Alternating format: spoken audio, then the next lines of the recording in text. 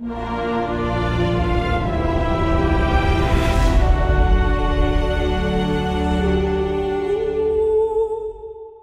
අම්මා නවකතාව ලියන්නේ මේ ලංකපත්තරයට. දැන් ලංකපත්තරේ මම හිතන විදිහට ලංකපත්තරේ අයිති වෙන්නේ මේ ජනතා විමුක්ති පෙරමුණට. හැබැයි ඒක ජනතා විමුක්ති පෙරමුණේ නිලපුවත් පතවාගේ එකක් ප්‍රකාශයට පත් වෙලා නැහැ. කොහොම හරි ලංකපත්තරයට තමයි මේ අම්මා නවකතාව ලියන්නේ. දැන් අර මම එක එක පක්ෂවල කාලයක් ජේපීකට විරුද්ධව වැඩ කරලා ඉඳලා විශ්වවිද්‍යාලයේදී එහෙම ඉඳලා මේ මේ ලංකපත්තරයට සම්බන්ධ වෙන්නේ ලංකපත්තරේ වැඩ කරපු ප්‍රියන්ත ලියනගේ කොටතුවක් පොතලිව ප්‍රියන්ත ප්‍රියන්ත ලියනගේත් එක්ක විමල් කැටිපෑරච්චි දවසක් සංහිඳයේදී අපි හම්බ වෙනවා. මේ ලංකපත්තරයට මේ පෙම් කතාවක් ලියන්න කියලා. ප්‍රේමය සම්බන්ධය නවකතාවක් ලියන්න කියලා. මං අකමැති වෙනවා හරි පස්සේ ලියන්නම් හරි මට තව කාලයක් දෙන්න හරි වාගේ යෝජනාවක් මට මතක විදිහට කරේ. මම මේ මතකයන් කියන්නේ සමහර මතකයන් වැරදි නම් මතකයන් මගේ ඔළුව ඇතුළෙම නැවත වෙන විදිහට ප්‍රතිනිර්මාණය වෙලා නම් මේක අහන යාළුවන්ට පුළුවන් නිවැරදි කරන්න. මේ මට මතක මම ඒක නිකන් කල්ලිල්ලුවා වගේ එකක් මට පොඩි කාලයක් දෙන්න කියලා.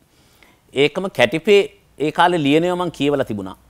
මේ මම මේ නිකන් මට මතකයි කිව්වා වගේ ඒක කැටිපේ තමයි තහවුරු කරන්න ඕනේ මට මතකයි කිව්වා වගේ මේ කැටිපේට පුරුහන්නේ මේ මේ අර එතකන් මේ කතාවල් ලියන්න කියලා. කොහමද ඊට පස්සේ කාලෙදී කැටිපේ ආරච්චි පොත් තුනක් විතර ලිව්වා. ඒවා වෙන විදිහකට වෙන තලයන් අතර මේ ජනාදරයට පත් වුණා ඒ පොත්. කොහමද එහෙම තමයි ලංකාපතට සම්බන්ධය හැදෙන්නේ. කාලයකට කලින් මගේ මේ සම්මුඛ සාකච්ඡා දෙකක් හෝ තුනක් කරලා තිබුණා මේ ප්‍රියදර්ශන දයාරත්න. අර රැවුලවාගෙන ඉන්න අපි හැමෝම දන්න මේ වැලිමඩ දයා කිව්වහම දන්නවා. එතකොට මේ වැලිමඩ දයා මේ හම්බුනහම මේ ඕවාගේ සම්මුඛ සාකච්ඡා කීපයකදී දයා ජනානන්දයට සම්බන්ධයි අපේ ගමේ අපේ සානුවේ වැඩිබඩ පැත්තේ කතා බහ සමානයි හැසිරීම සමානයි කියන ස්ථාන නම්ගම් නිවැරදි. මෙම කාලකදී දයා තමයි ආපහු යෝජනාව ගේන්නේ ලියමුකම් මං අම්මා මේ කතාව එහෙනම් ලියමු කියලා යෝජනා කරලා. මගේ උද්දච්චකමටද නැත්නම් ඒක විදිහද මන් දන්නේ මම පොඩි යෝජනා කීපයක් කරනවා. එක යෝජනාවක් තමයි ලංකපත්‍රයට කරන්නේ මම ලියන එකේ අකුරක්වත් මේ කපන්න එපා කියලා. කියන්නේ එඩිට් කරන්න එපා කියලා. ඒගොල්ලෝ එකඟ වෙනවා. එතකොට මේ වෙලාවේ මම අර මාධ්‍ය සදාචාරය, මාධ්‍ය අයිතීන්, ලේඛකයන්ගේ පරිකල්පනය, ලේඛකයන්ට පනවන වාරණ වාගේ දේවල් සම්බන්ධයෙන් කවුරු හරි අදහසක් කියනවනම් එක පැත්තකින් මම කිව්වහම මේක වාරණය කරන්න එපා, මේක කපන්න එපා, එඩිට් කරන්න එපා. මම ලියන එක අකුරක්වත්, ස්පිල්ලක්, පාපිල්ලක්වත් වෙනස් කරනවා නම් මම ලියන්නේ නැහැ කිව්වහම ඒගොල්ලෝ එකඟ වුණා මට එහෙම වෙනස් කරන්නේ නැහැ. ඔයා ලියන එක අපි මේ පත්‍රයේ දානවා කියලා. ඒක ලේඛකයෙකුට ලොකු හයියක්. Tamanට ඕන එක ලියන්න තියෙන හයියක් ඒක ඒ ලංක පත්තරෙන් හම්බුනේ. දැන් මෙතන අනිත් පැත්තට කියන්න මම එකපාරක් කිව්වා මේ තව අදහසක් කිව්වා මේ ජනතා විමුක්ති පෙරමුණේ ආණ්ඩුවක් ආවොත් එහෙම අපිට මේ තියෙන ලේඛක නිදහසත් හම්බ වෙන එකක් නෑ රුසියාවේ වෙච්ච දේ මතක නේ ආයිකුත් මම කියලා තියෙනවා. ඉතින් ඒ සාධනීය දේ ඒක නිෂේධනීය දේ අදහස ඒක. ඉතින් අදහස් කියන්නේ එහෙම ඒවාට තමයි සාධනීයව සහ නිෂේධනීයව එකතු වෙලා තමයි වඩා හොඳ ප්‍රතිඵලයක් හොයාගෙන යන්න වෙන්නේ. කොහොමද එක කොන්දේසියකට අපි දෙගොල්ලෝ එකඟ වෙනවා. දෙවෙනි එක මේකට මට මිලක් ඕනේ නැහැ කියන එක. ඒ කියන්නේ ගෙවීමක් කරන්න එපා කියන එක. ඒකත් පොඩි උද්දච්චකමක් වෙන්න ඇති. මොකද ටියුෂන් කරලා හොයන සල්ලිත් එක පත්‍රයකින් කතා කොටසක් ලියලා සල්ලි ගන්න එක සහ විශේෂයෙන් මේ මේ මේ ජනතා විමුක්තිය නිල ප්‍රකාශනයේ නොවුනත් මේ ඒ පක්ෂයට සම්බන්ධ සහ ඒ වගේ වමේ අදහස් දරන කොටස් පත්‍රයේ හිටියාම නිකන් උන්ගෙන් සල්ලි ගන්න එක නිකන් වම්මුන්ගෙන් සල්ලි ගන්න එක නිකන් කැතයි වගේ නිකන් ධනපතියන්ගෙන් සල්ලි ගන්න එක හොඳයි වගේ එකක් තියෙනවා. නිකන් ඒ නිසා ඒ වගේ එකක් පොඩි. ඒක හරද සාක්ෂිද හිතවත් කමද මන් දන්නේ එහෙම එකක් වෙන්නත් පුළුවන්.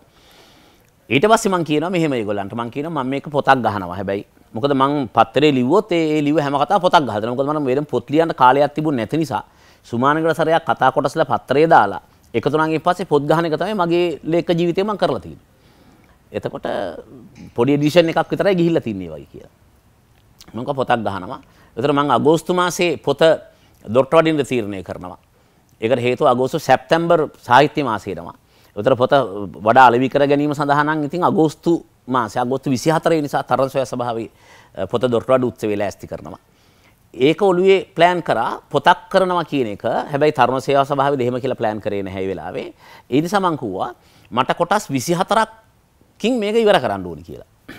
ඊළඟ ඒකටත් එකඟ වුණා. ඒතර මම අගෝස්තු 24 තියාගෙන ජුනි විතර වෙද්දි කතා ඉවර කරන විදිහට මාස 24කින් සොරි සති විසි හතරකින් සතිපතා ඉරද ලියන්නම් කියන එකට එකග වුණා. ඊට පස්සේ මං කිව්වා මං ඒ ලියන එක චැප්ටර් එකක් මං ලියලා ඉවර කරා. ඒකට මට සමහර ලාවට එදා පිටු තුන් කාල වෙන්න පුළුවන් පත්තරෙන්. සමහර කොටස් සම්පූර්ණ පිටුවක් මට ඕන වෙන්න පුළුවන්. ඇතැම් විට කොටසකට පිටු එකහමාරක් ඒ කියන්නේ පිටුවකුත් දීලා නව කතාවට තවත් පිටු භාගයක් විතර ඕන වෙන්නත් පුළුවන්. කලාතුරකින් පිටු දෙකක් මට ඕන වෙන්නත් පුළුවන්. ඒ අයිතිය මට දෙන්න නැත්තම් ඒ කොටස ඉවර කරන්න බෑ. පරිච්ඡේද ඉවර කරන්න බෑ මට නැත්තම් ඒක ලස්සන නෑ කියලා. ඒකටත් එකඟ වුණා. එකඟ වෙලා ලංකපත්තරේ මම මේක ලියන්න පටන් ගන්නවා. මට එක එක මිත්‍රයෝ කතා කරනවා පිට රටින් යාළුවෝ පරණ වමේ අය. ඔය ලංකපත්තරේ මේ පැත්තේ කොළමක් ලිව්ව ගණකාධිකාරිවරයෙක් මං හිතන්නේ බැංක කෙනෙක් එකොන් ක්ලාස් එහෙම කරා. එයා එයා ඔය කතාව කියලා කිව්වා මේ අපි ඒ කාලේ බෝ මරන්න හිටියේ මේ මේ මොකද මේ මට තුවක් හම්බුණා නම් මම ප්‍රභාකරුන් උඹයි දෙන්න පෙන්ලා මරන්න ඕනි කවුද ඇහුවොත් එහෙම මේ මරන්නේ ප්‍රභාකරන් නෙමෙයි උඹ කියලායි මම ඒ දවස්වල කිව්වේ. මේ මචං අපරාධේ ඒ කාලේ හිතපු එක වායි කියලා මට මට කෝල් කරලා තියෙනවා. සිකුරාදා නුවර ඉද්දි මට සිකුරාදා පත්තරයාවම කියවලා කීප දෙනෙක් කතා කරනවා මගෙත් ඒක. එක්කෙනෙක් සමන් වික්‍රමාරච්චි. එයා ඊට පස්සේ අම්මා පුත දොට්ටුවට දවසේ මේ අම්මා ගැන එයාගේ එයාගේ විචාරාත්මක හැඳින්වීමේ වෙන පොත් පිංචක් මම හිතන්නේ පොතක් එක්ක විචාර පොතක් පළවෙනි වතාව කියලා මට හිතෙනවා ඕන්නම්. ඒ කියන්නේ අම්මා පොතත් එක්කම සමන් වික්‍රමාරච්චි විචාර පොත. ඒතකොට සතිපතා එයා කියෙව්වා සහ මගෙත් එක්ක කතා බහ කරා.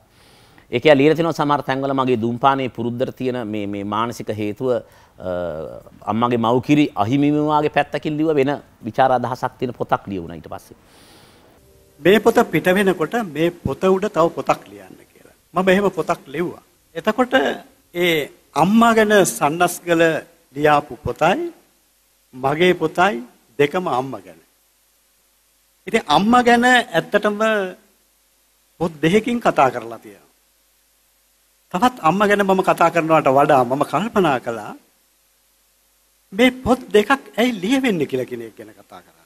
ඊට පස්සේ ලාල් කාන්ත කතා කරනවා මේ රැට මේ මේ කෝල් එකක් දීලා. මේ එයා කියනවා මේ මං ක්ලාස් එක ඉවර කරලා සිකුරාදා නුවර ඉන්නකොට කතා කරන්නේ ටික වැඩි වෙලාවක් කතා කරනවා මගෙත් එක්ක. මේ මචං උඹ ලියනවා මම අඬනවා කියලා. මේක කියාගෙන යනකොට මට ඇඬිච්ච තැන් අපමණයි. කඳුළු ගලාගෙන දෝරේ ගලා කියව අපමණයි අවස්ථා. ඒ වෙලාවට මම ඇතැම් විටක මගේ ටෙලිෆෝන් එක අරගෙන SA ගානකොට එනවා සන්නස් කළ මම පොඩි SMS එකක් දැම්මා. උඹ ලියනවා මම අඬනවා කියලා. ඊට පස්සේ අපි ඒ ගැන කතා කරනවා දේශපාලනික කාරණා. එම ලාල් මගේ මිත්‍රයෙක් බවට පත් වෙනවා. ඊට පස්සේ පොත දොට්ටවඩන උත්සවය ලෑස්ති කරනවා මහරගම. ඒකෙදි දේශන අතර ලාල්ගේ දේශනය ප්‍රධාන දේශනයක් වශයෙන් තීරණය කරනවා. ලාල්ගේ දේශනයට එනවා. ඇවිල්ලා ඊටම ලස්සන දේශනයක් කරනවා එදා. ඒ විතරක් නෙමෙයි මේ මේ ලාල්ලෙන අතරමඟදී අනුරාධපුරේ ඉඳන් කොළඹට මේ මේ නම් කිව්වොත් නික ඒගොල්ලෝ ජනප්‍රිය කරන්න ඕනේ නැහැ නේ මම FB එකේ නිකන් මේ මේ මේ FB එකේ මට විරුද්ධව විවිධ පෝස්ට් ලියන විවිධ නම් තියෙන අය මේ මේ මේ ඔය ලාල්ට කෝල් කරලා එන්න එපා මේ උත්සවයට. යන්න එපා මේක ඔයාට හොඳ නෑ මේක පක්ෂයට හොඳ නෑ. අපි වගෙන හිතුවේ එහෙම නෙවෙයි. ඇයි මේවට කඩේ යන්නේ? මේවා මාකටිං වැඩ. මේවට යන්න එපා. ඔයා සන්නක හැටි දන්නේ නෑ. ඔයාගේ නිකන් දස මාර සේනාව වට කරද්දි ලාල් ඉන්ද්‍රකීලයක් වගේ ආව ඈ. ඇවිල්ලා ලාල් එදා ඒ කතාව කරා. ඒ තරම් ඩොක්ටර් වැඩිමේදී මේ සංගීතයෙන් පෝස්ටරයක් ගැහුවා අම්මා ඩොක්ටර් වැඩිම ගැන. ඒක ලංකාපුරාම ඇලෙව්වේ ලංකාපත්තරින්. ඒතර JPK කේඩස් උදව් කරාද කියන එක මම දන්නේ නැහැ. ඒව තමයි අම්මා පොත මේ මේකක් බවට පත් වෙනවා. ඒගොල්ලෝ සම්මන්ත්‍රණ කීපයක් තැන් තැන් වල ලෑස්ති කරා. ඊට පස්සේ බාහිරවත් සම්මන්ත්‍රණ ලෑස්ති කරලා තියෙනවා. කොළඹ අම්මා සම්මන්ත්‍රණයක් කරා. නුවර එකක් කරා. කෑගල්ලේ කරා. නමුත් ඒ ඔක්කොම එක මේ එදා ලාල් කරපු කතාව. එහෙම නැත්නම් අර මක්සිම් ගෝකිගේ අම්මා පොත ලිව්ව නිසා නිකන් JVP එකට තියෙනවනේ වමට තියෙනවනේ NM ලට තියෙනවනේ කොල්ලිල්ලට තියෙනවනේ පෙරටුගාමින්ට තියෙනවනේ ඒගොල්ලන්ගේ දීපල වාගේ එකක් එකක් නිකන් මක්සිම් ගෝකිගේ අම්මා ඒවට අත තියන්න දෙන්න බෑ එතකොට චිංගී සයිත් මාතෝගේ ගුරු ගීතය ඒ නිසා ටියුෂන් කර කාරයන්ට ගුරු ගීත ලියන්න බෑවා එකක් තියෙනවනේ. ඒතර මේ කන්‍යා භාවයේ කැඩෙනවා මේ පොතත් එක්ක මේ අම්ම පොතත් එක්ක. හැබැයි ඒ ඔක්කොම තියාගෙන ලාල්ලේ දැවිලා කතා කරනවා. ඒ 2014 අගෝස්තු 24 වෙනිදා මහරගම තරසය සභාවේදී මම මේ කතාව නැවත මට දීලා තියෙන වෙලාව අහමින් ඉන්න වෙලාවක්. විනාඩි 10යි 15යි අතර. දයා කුල්සාන්ත සන්නස් කළ මහත්තයා පෝස්ටර් ගහපු අය මුද්‍රිත පිටු එයා එක තුන්සිය අසූ තුනක් thank you මේ කියන්නේ. පොතේ මුද්‍රණය කරලා අම්මා ගැන එතුමා මට බාර දීලා දිනවා විනාඩි 10කින් අම්මා ගැන කියපන් කියලා. මේක සෑහෙන අසාධාරණයක් තියෙනවා. සෑහෙන අසාධාරණයක් තියෙනවා මොකද පිටු 383ක් පුරා ලියවිලා තිබෙනවා. මට දැන් විනාඩි 10න් අම්මා ගැන කියන්න කියලා මම දැන් කියන්න ඕන. ඉස්සෙල්ලම තමුන්නාන්සලා කවුරුත් දන්නවා මේ අද අපි හැමෝම පත්තර පෙරලනවා. පත්තර කියවන අඩුයි. පත්තරවල මම හිතන්නේ කියවන්න දේවලුත් අඩුයි. ඉරිදා පත්තර අපි පෙරලගෙන පෙරලගෙන යනවා. සාමාන්‍ය මමත් කරන්නේ පත්තර බොහෝ වෙලාවට පෙරලගෙන යන එක. ඉතින් ලංකා පත්තරේ අරගෙන යම් දවසක ඒකත් පෙරලගෙන යනකොට පස්සේ කියවන්නම් කියන බලාපොරොත්තුවෙන් මට හම්බ වුණා සන්නස්ගල පුල්සාන්ත සන්නස්ගලගේ අම්මා පිළිබඳ පළවෙනි කොටස. මගේ පුරුද්දක් තිබ්බා ඒක කොහොම වුණාද දන්නේ නැහැ. දැන් මේ කාලෙක ඉඳන් පත්තරවල උපුල්සාන්ත සන්නස්ගලගේ යමක් තියෙනකොට කියවන්න තියෙන ලෝල්කමක්. දැන් මං හිතන්නේ මේ ඉරිදා පත්තර ටිකේ වුණත් සෑහෙන මේ පොතත් එක්කම අ, සෑහෙන සම්මුඛ සාකච්ඡා අදහස් දැකීම් ගොඩක් තිබෙනවා. මං ඒවත් කියුවා. ඒවා කියවනකොට සන්නස්ගල ලියන ඒවා කියවනකොට මට සමීපකමක් දැනෙනවා. වචනවල කිට්ටුකමක් දැනෙනවා. අලුත් දේවල් ප්‍රමාණයක් එකතු කරගන්නත් හම්බෙනවා. සමහරලාට පොඩ්ඩක් අලුත් විදියකට හිතන්න පෙළඹ මොකුත් එනවා. ලංකාපත්තරේ අම්මා පළවෙනි කොටස කියවගෙන ගියා. එහෙම කියවගෙන යනකොට මට හිතුණා මේක නම් මම ඉවර වෙනකම්ම කියවනවා කියලා. ඔය සමහර ඒවා එහෙම අත්හැරෙනවා. ඒ නිසා මට ආසාවක් ඇති වුණා මුලින්ම ඇත්තටම. ආසාවක්, උද්‍යෝගයක්, කුතුහලයක්, අතිශය ආසාවක් ඇති වුණා මේ කතාව කියවන්න ඕන කියලා. ඊට පස්සේ කතාව කියවගෙන ගියා. අවසානයේ දක්වාම කියවුවා. කියවුවට පස්සේ ලංකාපත්තරේ මේ සම්බන්ධ ਵਿਚාර කීපයක් ගියා. සාහිත්‍යයේ යම් යම් රීතීන් පදනම් කරගෙන. සාහිත්‍යයේම රීතීන් තියෙනවනේ. සමාජ සත්තා යථාර්ථවාදී රීතිය කොම ආදී වශයෙන් සාහිත්‍ය රීතීන් ප්‍රමාණයක් තියෙනවා. ඉතින් මේ රීතීන් මත පදනම් වෙලා යම් කිසි විචාරයන් කීපයකුත් තිබුණා. එසේ නොවනේවත් තිබුණා. ඒවත් කියවුවා. කියවලා ඒ ටික ඔක්කොම පැත්තකින් තියලා ඉන්නකොට ආරංචියක් ලැබුණා මේක පොතක් විදියට දැන් එළියට දාන්න යනවා කියලා. ටික දවසක් යනකොට මට ආරාධනයක් ලැබුණා සන්නස්ගල පුල්සාන්ත සන්නස්ගලගෙන් මේ පොතත් එක්කම මේ වැඩසටහන සම්බන්ධයෙන් මේ ලිපියකුයි පුතකුයි හම්බුණ වැඩසටහන බලනකොට තමයි මට තේරුණේ මටත් විනාඩි 10ක් 15ක් මේකේ අදහස් ප්‍රකාශ කිරීමක් තියෙනවා කියලා. මේ මට ලැබිච්ච පොතේ තියෙන්නේ අස්සම් කරලා තියෙන්නේ උපුල් ශාන්ත මහත්තයා 19 වෙනිදා කියලා. හැබැයි මට පොත එව්වේ 18 වෙනිදා. එදා මගේ උපන්දිනේ. එදාට මට අවුරුදු 50යි. මම හිතුවා මට මේ පාර ලැබිච්ච හොඳම උපන්දින තෑග්ග මේක තමයි කියලා. එදා මෙතන එහා පැත්තේ තියෙන මහරගම අපේ පක්ෂයේ ඔෆිස් එකේ මම මහජන දිනය පවත්වනවා සඳ දිනයක්. එදා මහජනතාව ටිකක් අඩුයි. පත්තරෙත් කියවලා තිබුණා තමයි. නමුත් මම ආපහු කියවන්න පටන් ගත්තා. ඊට පස්සේ මගේ වාහනේ අද වෙනකම මේ පොත තිබුණා. තමුන්නාන්සලා දන්නෝ මේ දවස්වල ඌව ඡන්දේ ඒවට යනවා. පුළුවන් හැම වෙලාවකම මම මේක කියෙව්වා. දැන් මට මෙතන අභියෝගයකුත් තියෙනවා. විනාඩි 10කින් පොත ගැන කියන්නේ. ඉතින් මේක අමාරුයි. පැය එකමාරක දෙක කතාවක් කරන්න ලේසි. විනාඩි 10ක් කතාවක් කරන්න අමාරුයි. ඉතින් ඔහොම යනකොට ඊයේ අර විචාර ටික උත් මං කියවලා තිබ්බා කිව්වනේ ඊයේ මම මයංගනේ ඉඳලා උදේ පිටත් වුණා බුත්තලට යන්න. ඒ යනකොට මයංගනෙන් අඳුරන ගුරු මහත්මයෙක් මම වාහනේට දාගත්ත බිබිලෙන් බස්සන්න.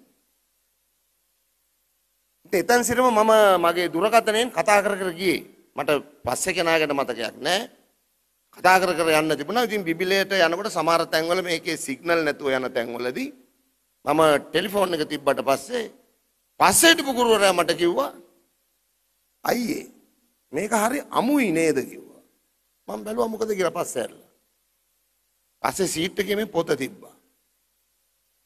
එයා මේකේ පළවෙනි පරිච්ඡේදය කියවලා තිබ්බා.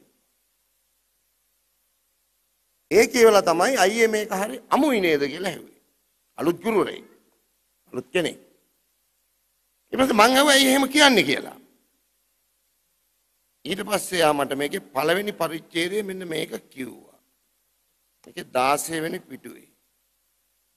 මගේ කණ්ණාඩිය නැතිකමේ ප්‍රශ්නයකට මම දැන් මුහුණ දීලා ඉන්නේ. වම් අතින් පුක හොදපිය. දකුණු අතින් බත් කාපන් යයි අම්මා පසු පසු කලෙක මට කියා දුන්නාය. ඕක තමයි මට කිව්වේ. මට එකපාරටම ඇහුණා වං අතින් පිටිපස්ස දෝවනය කරන්න දකුණු අතින් බත් අනුභව කරන්න කියලා අම්මල කිව්වද කියලා. මංකව අපේ කාලේ අම්මලා මෙහෙම තමයි කිව්වේ. මංකවා මගේ අම්මත් ඔහොම තමයි කිව්වේ. මම අනුරාධපුරේ කලත් ඇවේ. ඒ අවට හිටපු ගම්වල හැමතැනම අපි දන්න යාළුවන්ගේ මිත්‍රයන්ගේ හැම අම්මම ඒ කාලේ මෙහෙම කිව්වා. හැමතැනම මෙහෙම කියුණා. මට ඇහිලා තියෙනවා මම ඉස්කෝල පහකට ගියා. අනුරාධපුරේ 3යි, කලුතර 1යි, ගාල්ලේ ඇල්පිටිය පිටිකල 1යි. කලුතර ඉත්තපාන. කලුතර മന്ത്രിතුමත් අහගෙන ඉන්නවා. ඒ හැමතැනකම මට ඒ ඒ හම්බෙන ඒ අවදිය හම්බුනේ මෙහෙම කතා කරන අම්මලා. ඊට පස්සේ මං කිව්වා මේ උපුල් සාන්ත සන්නස් කළ නෙමෙයිනේ ඒක කියලා තියෙන්නේ. එයා අම්මා කියපු එක තමයි ඒ කියලා තියෙන්නේ. ඊට පස්සේ මම ඇහුවා ඇයි ඔයා මේකේ අන්තිම ටික ඔයාට මතක නැද්ද? මං උඹලට බය නැහැ. මං බඩගින්නට බයයි. මිත්‍රවරුනි බඩජාරි කමක් නෙමෙයි. සත්තයි. මං අදත් බඩගින්නට බයයි. මම හිතන්නේ මේ පොතේ මුල සිට අග දක්වා කියවෙන්නේ බඩගින්නේ කතාව කියලා. දුප්පත් කමේ කතාව. දරිද්‍රතාවයේ කතාව මේක ඇතුලේ තියෙනවා. ගම්බද 60 දශකයේ 70 දශකයේ 80 දශකයේ ඒ අපි පුංචි කාලේ මං හිතන්නේ සන්නස්ගල මහත්තයා දැන් 61 වෙන්නේ නැති. සමා වෙන්න 51 වෙන්නේ. 64මයි. මගේ ගානමයි. සමානකමක් තියෙනවා. ඉතින් ඒ ඒ අවදියේ බඩගින්න කුසගින්න ගැන කියවිච්ච කතාව තමයි මේ පොතේ අන්තර්ගත වෙලා තියෙන කියලා මට හිතෙනවා. විතක මට මේක අම්මා ගැන කියන කතාවද එහෙම නැත්නම් මේ අපේ රටේ එක ඓතිහාසික පරිච්ඡේදයක් ඉතිහාසයේ එක පරිච්ඡේදයක් ලියවිච්ච කතාවද කියලා හිතෙනවා. දැන් මට මේක කියවද්දි මතක් වුණා ධර්මසිරි බණ්ඩාරනායක මහත්තයාගේ බවදුක සිනමාපටය. ඒකේ අපි දකින චරිත ඉන්නවා තමයි කතාවක් තියෙනවා තමයි. නමුත් ඒක ඒක අපේ රටේ එක එක ඉතිහාස කතාවක් තියෙනවා එක පරිච්ඡේදයක්. නෝනහාමිගේ කතාව වුණාට ඒක නෝනහාමිගේ කතාවට එහා ගිය වෙන සමාජ කතාවක් ඉතිහාස කතාවක් මේකේ තියෙනවා. මට හිතුණා මේකත් එහෙම ඓතිහාසික කතාවක් කියලා. වෙලාවකට හිතුණා මේ අම්මා ගැන නෙමෙයි අම්මා ඒ ඒ අම්මලාගේ පුත්තු අපි ගැන කියන කතාව කියලා. අන්නස්කල මහත්තයා ගැන නෙමෙයි. ඒ අම්මා ඉන්නවා මේකේ. අම්මා හිටියට මේ අපේ ජීවිතය ගැන කියන කතාවද කියන එක මගේ ජීවිතෙත් එක්ක සම්බන්ධ වෙනකොට මට ගොඩක් ගොඩක් දැනෙන්න දැනෙන්න පටන් ගත්තා. කොහොම හරි මේ බඩගින්න ඒකයි තාමත් බය. බඩගින්නට. මේ තියෙන බඩගින්නේ කතාව. 48 නිදහසෙන් පස්සේ නිදහස් ශ්‍රී ලංකාව කියලා කියන රටේ අපේ අම්මලා අයියලා අක්කලා පුංචි අම්මලා නංගිලා මල්ලිලා අපි අත්දැකපු දේ විඳපු දේ මුණ දීපු දේ අම්මා එකේ සුවිශේෂ තමයි ඇත්ත. කොහොම හරි මම මේක කියවගෙන යන්න පටන් ගත්තා. දෙවැනි පරිච්ඡේදයේ ඊළඟ සතියේ කියවුවා. ලංකාපත්තරේ ගත්ත ගමන් පෙරළුවා පිටුව. සාමාන්‍ය මම කැමති අර ස්පාටකස් කතාවට ඉස්සර පොඩි කාලේ අපි සිත්තර පත්තරේ කියවද්දි. ඒ කතාව දැන් ලංකා පත්‍රේ යන නිසා මම ඒක තමයි ඉස්සෙල්ලා කියව කියව හිටියේ. සවට කීව පරණ මතකයන් අලුත් කරගන්න. ඊට පස්සේ මේක යන්න ගත්තට පස්සේ මම මේක කියවන්න ගත්තා.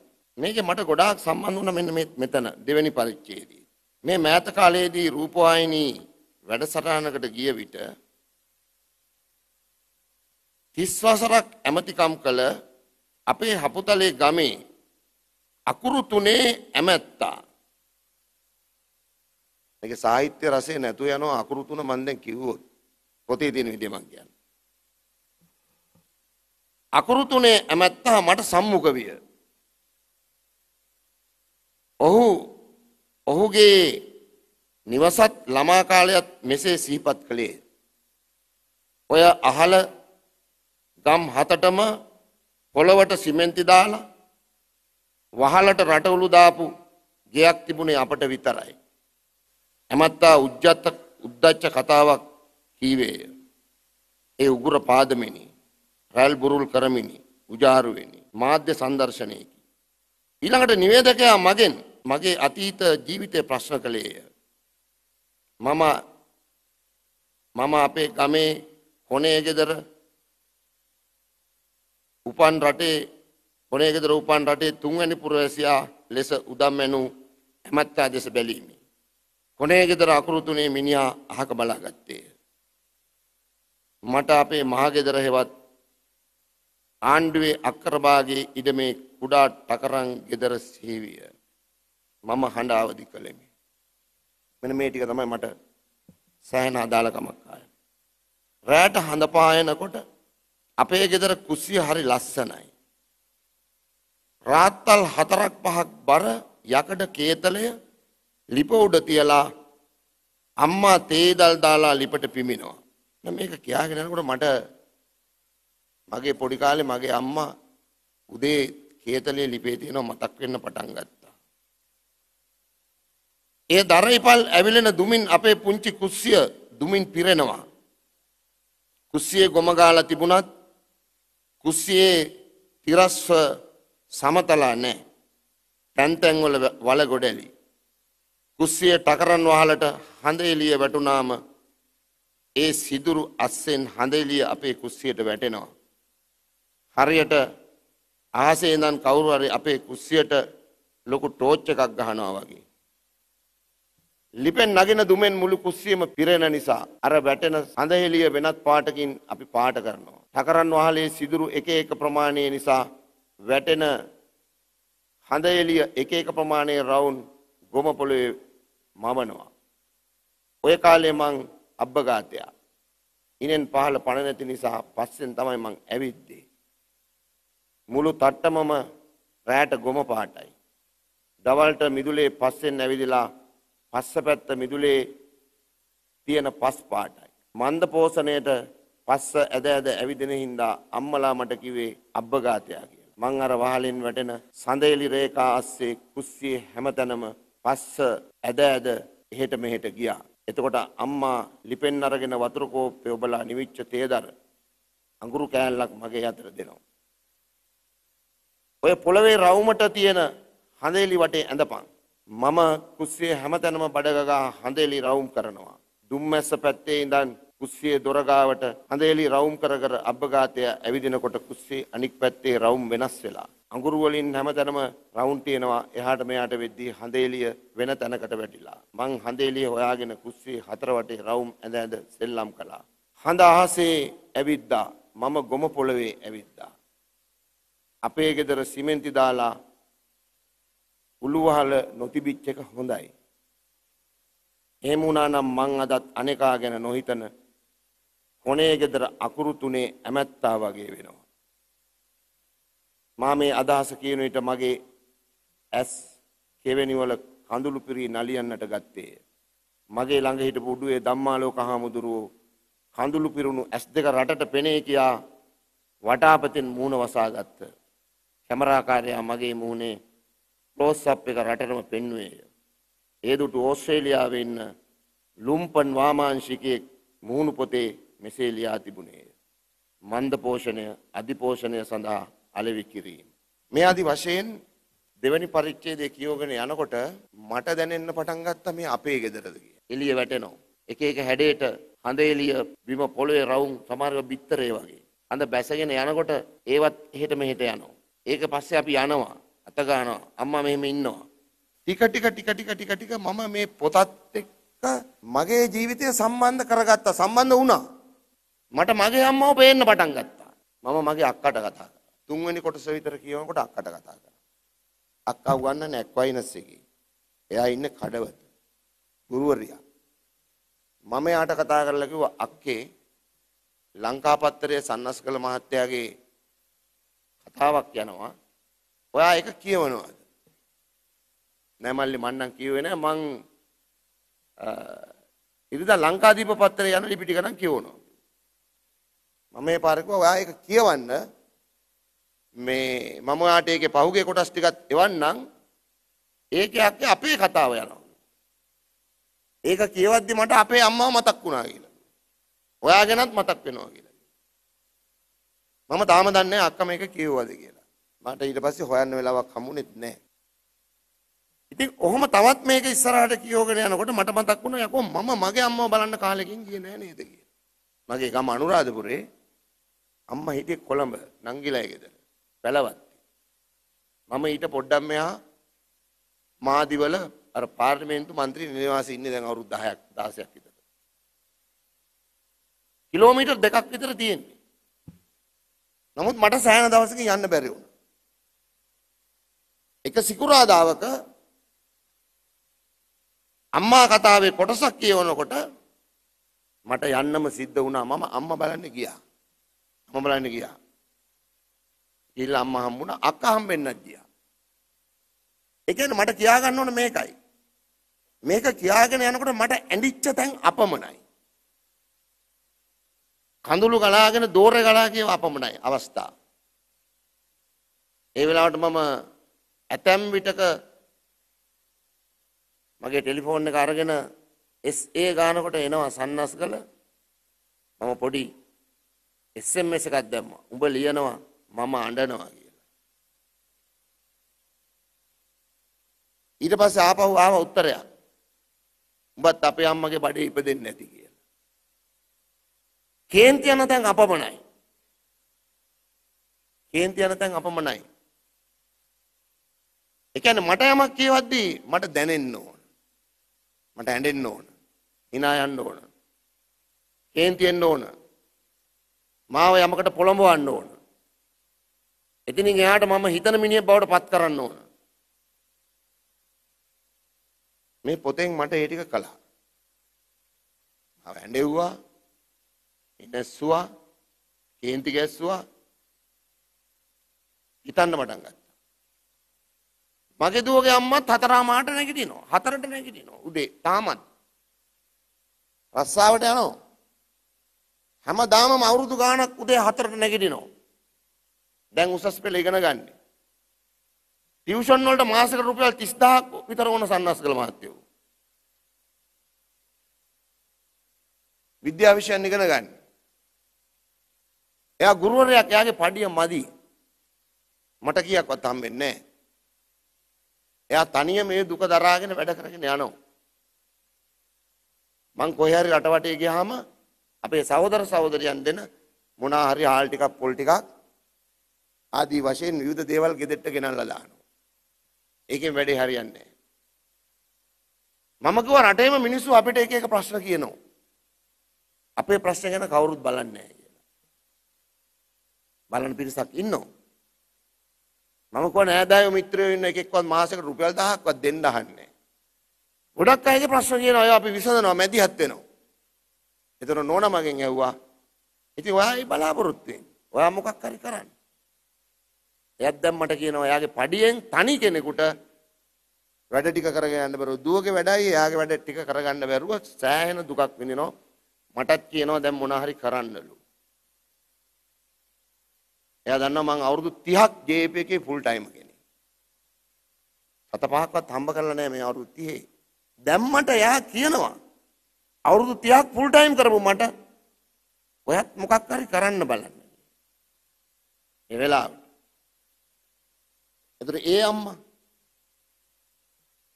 කොළඹ ඉන්නේ. අර අම්මට වඩා වෙනස් තමයි. නමුත් දුක් විඳිනවා. තාමත්. ඉතින් මේ කතාව කියාගෙන යද්දී කොහොම යනකොට ඇත්තටම මේකේ තියෙන නම් ගම් උජ්ජලයෝ පරිසරයේ වෙනස්කම් මැද්දේ මේක ඇතුලේ කපුගේ කපුගේ ගායනා කළපු දැන් මේ මෙතන වැඩසටහන පටන් ගද්දී දවසක් පැල නැති හේනේ අම්මත් ඉන්නවා. එහෙමම ඉන්නවා. එක තැනක ඉන්නවා අම්මයි පුතයි තෙමෙන්න යනවා. පුතාව පොඩි තැනකින් ආරක්ෂා කරන්න තියලා අම්මා තෙමෙනවා. මේකේ තියෙනවා. අම්මා තෙමෙන තැනක් තියෙනවා. එතනදී වහාම හිත දුවගෙන යනවා ඉක්මනටම යනවා අතෙන්ට. දවසක් පැල නැති හේනේ. අකාල මහ වැසි වැටුණා. තුරුලේ හංගාගෙන මා ඔබ තෙමුණා අම්මේ. ඒක නෙමෙයි වැඩේ. පායනතුරු හිටි පියවර සිටියා නුඹ හෙල්ලිලා නෑනේ. පායනතුරු සිටි පියවර එහෙමම අම්බන්න සෙනරත් මහත්තයා. ඒ අපේ හේන. ඒ අහනකොට අපේ හේන මතක් වුණා. එතන හිටියේ අම්මා. මගේම අම්මා එතන හිටියේ. වෙන කවුරුත්ම නෙමෙයි. ඒක අපිට ගොඩක් සමීපයි. පරිසරය ඔක්කොම හැම්පැත්තක්. මම හිරෙන් පැනලා 88 පණ බේරගෙන මගේ කට්ටියකින් මග ඇරලා දවස් 4ක් විතර කැලේ තනියම ඇවිල්ලා උදේ පාන්දර ගෙදර ලිඳ ළඟට ආවා. අපේ ගෙදර වත්තේ. 1988 ලිඳ ළඟට එනකොට ගෙදර ලිප පත්තු වෙනවා. ජනෙල් ඇස්සේ යන්තම් පේනවා එළිය. පාන්දර 4යි කියලා මම ඒකෙන් තේරුම් ගත්තා. එතකොට හිරුට කලින් මුළු තැන්ගෙට වඩින අම්මා මේකේ ඉන්නවා. ඉතින් මගේ ගෙදරත් හිටියා.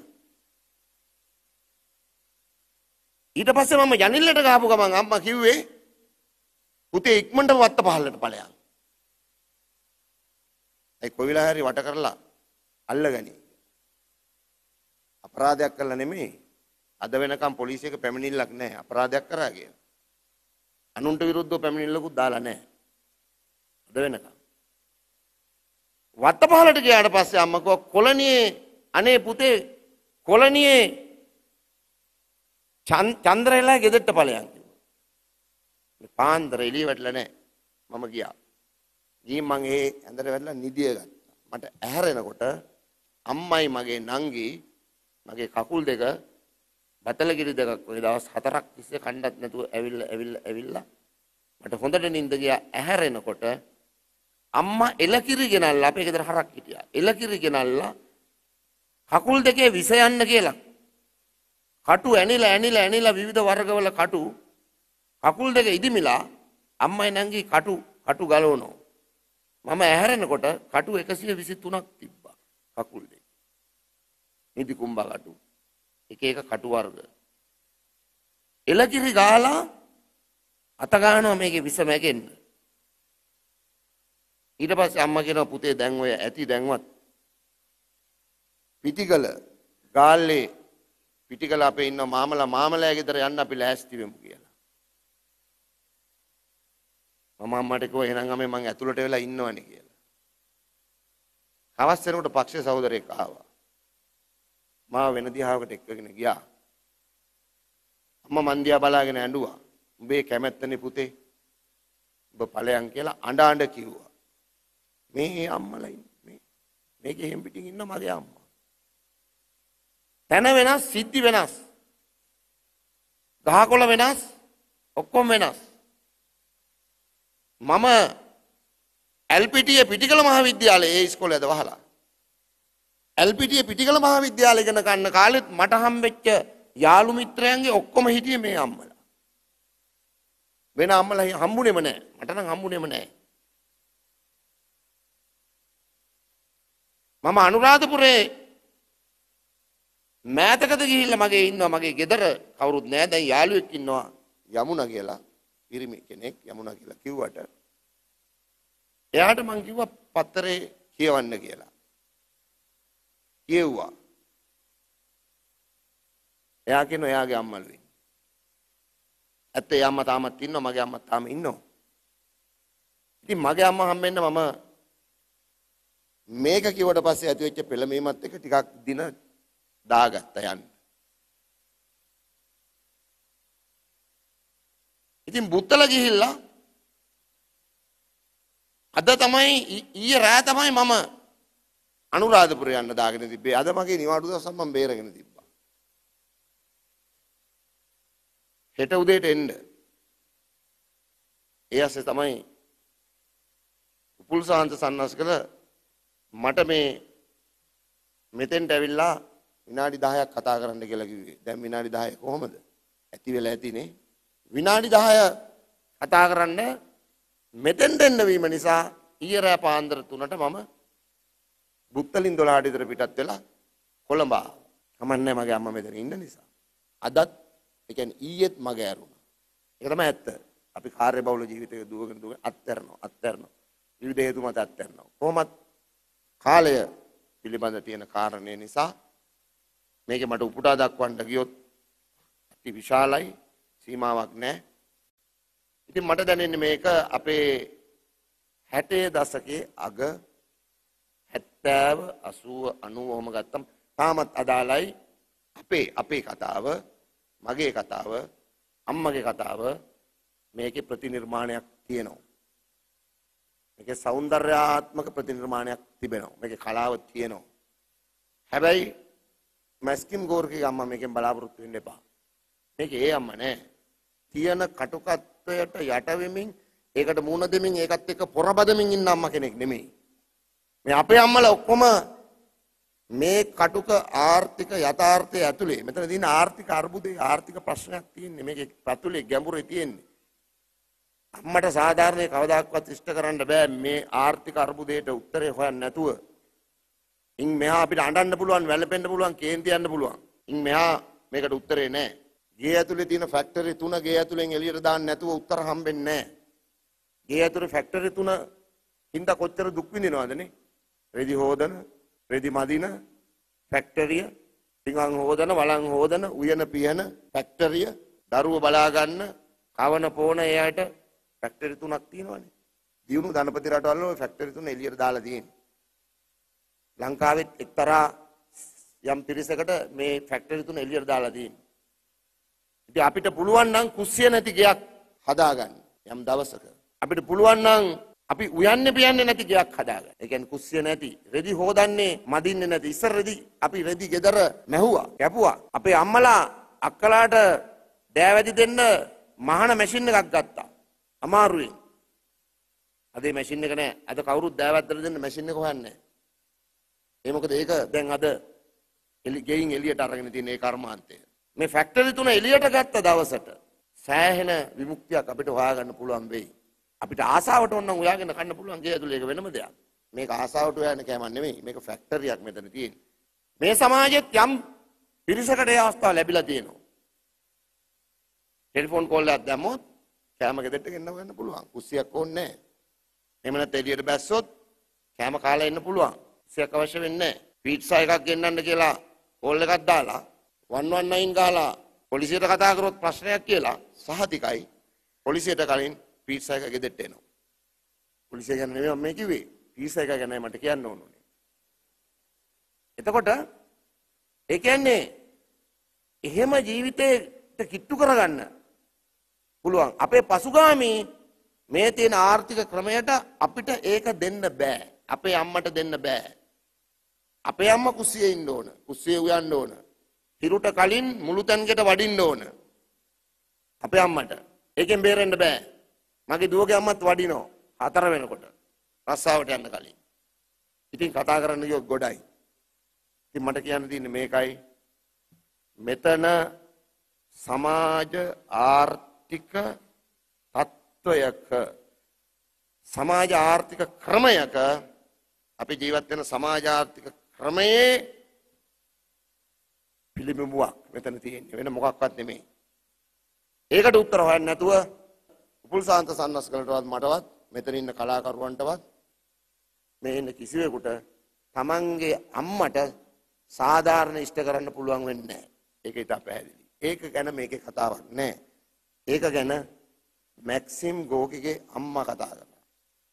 මැක්සිම් ගෝගේ කතා කරා ඒක අවශ්‍යය ඒක කියවන්න තමන්ගේ අම්මා බලන්න ඕන අය මේක කියවන්න. මේකේ උත්තර කියන්නේ ප්‍රශ්නෙට. කොහොම හරි දෙවෙනි පරිච්ඡේදයේ කියාගෙන මේකේ අර එනකොට මම මේක කියලා ඉවර කරනවා. මුවන්දිරම් මැදුර යාල බැද්ද හපුතලේ. තමයි මේ තැන. මේ කතාව කියලා ඉවර වෙනකොට මම එතෙන්ට දාගත්තා මගේ ඇඩ්‍රස් එක. හයේ කනුව කුරුන්දන්කුළම මාතලේ පාර අනුරාධපුර.